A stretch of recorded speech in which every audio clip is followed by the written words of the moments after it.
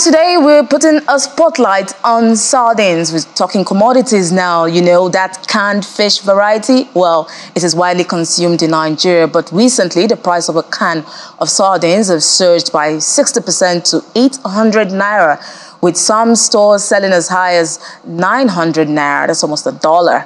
Uh, let's bring in Victoria Momo, analyst with Financial Derivatives Company, to break it down for us why sardines may soon disappear from our daily consumption. Hi, Victoria. We know inflation is, is in a mix somewhere, but what are the factors are contributing to this rapid price increase? Um, hello, Will. Good afternoon, and thank you for having me. So, uh, like you rightly said, sardine, which you know, was one of the favorite um, canned, you know, fish variety, slowly phasing out of the tables of many Nigerian homes.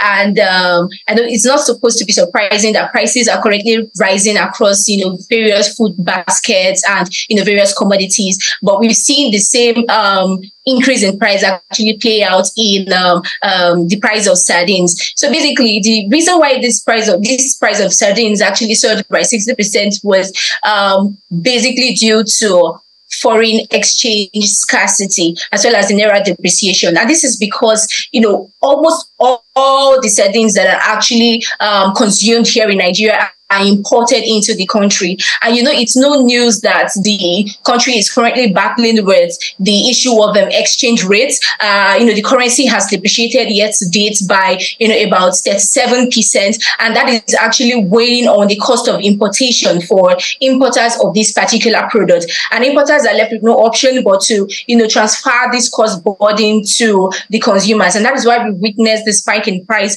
of this particular commodity. And even as apart from that, that, we've also seen that um, following the policy of um, the exchange rate unification, um, the exchange rate used in computing the import duty has actually been revised upward. So from about 422 naira per dollar, it's now, uh, you know, about 783 naira per dollar. So that is, you know, an additional burden for importers, and that is increasing the cost of production, the cost of importation. And as a result of that, the increase in that cost is actually being filtered into the prices of um, the commodity. But the irony of it all is that I mean, recently the CBN actually, um, you know, lifted the ban on 43 items, uh, you know, from accessing foreign exchange. And um, sardine is actually one of those items. But we've not really seen the impact of this reflecting because there is still that issue of forex supply shortage that is hindering, you know, these importers from getting the forex to actually access this commodity. And even if they want to access this commodity, you know, our exchange rate, our exchange rate is currently very weak, particularly the naira at the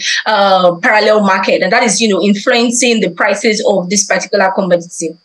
Uh, talking of things influencing the prices of sardines, we know that the demand for sardine is widely considered a joint demand.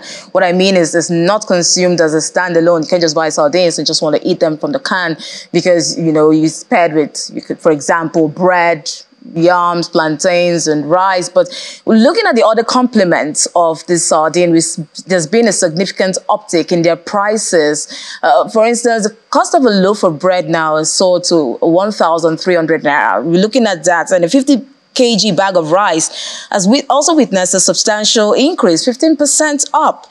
Now, now priced at 60,000. Uh, can you explain the concept of this joint demand and uh, why we're seeing this affecting sardines? Why are they tied together? Why can't we just separate them so that the prices of these complementary products do not affect the price of sardines?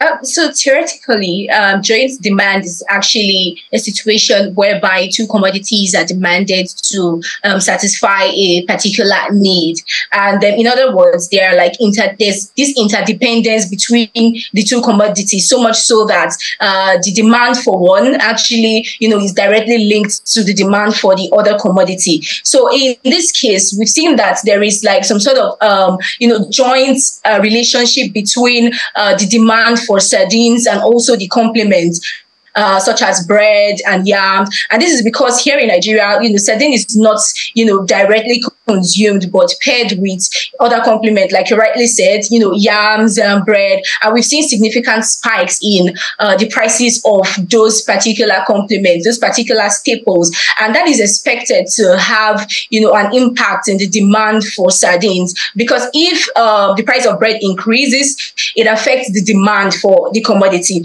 And then um, sardine is being paired with bread. So if there's a reduction in demand for bread, it affects, you know, the demand for sardine. And do not forget that sardine prices are already rising. And then there is that, you know, demand reduction in demand because of the increase in price. So if other jointly demanded um, um, staples or commodities are also witnessing increases in prices, it would ha- add further pressure to um, the demand for sardines.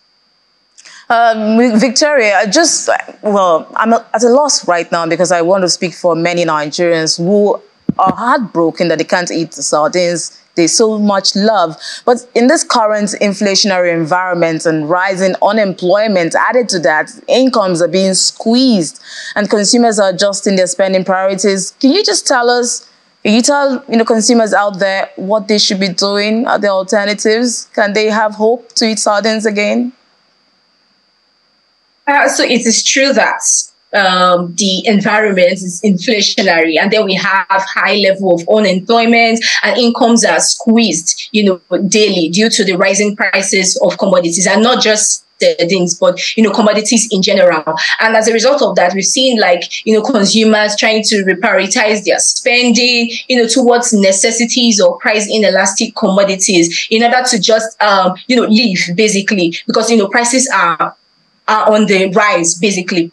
So in in that regards we've seen like most of these consumers actually looking towards and in order to meet up with their dietary needs they decided to um, look at other substitutes. You know we have the likes of herring fish which is known as um, uh, this um, shawa fish. And then there is the horse mackerel also known as the kote fish. People are looking towards you know frozen fish. Uh, and that is because okay in terms of that regards we have um, increase in quantity like the quantity of the fish that is being bought, that is the frozen fish, is actually, you know, way higher than, you know, a can of sardines. So why uh, you know, spend on a kind of sardines to get just two fishes with oil in it. And instead of, you know, going straight to a frozen fish where I can get like, you know, different pieces of fish and um, different parts of the fish to enjoy. So we've seen, you know, consumers trying to, you know, look towards that angle in order to um, cut down their living expenses and also, mm. you know, get the best of um, the economic situation. And then it's actually not so good for these industries that produce, you you know, sardines because,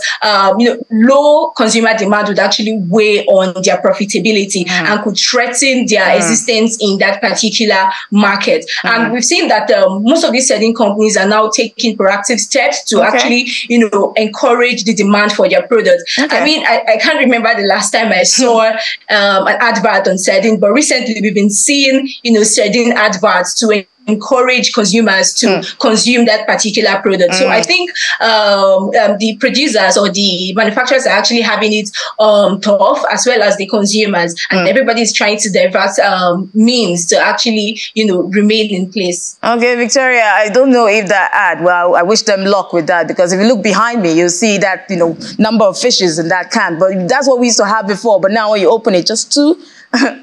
Good luck to that. Thank you so much, Victoria Momo, analyst with financial derivatives, for breaking it down for us. Thank you. Thank you for having me.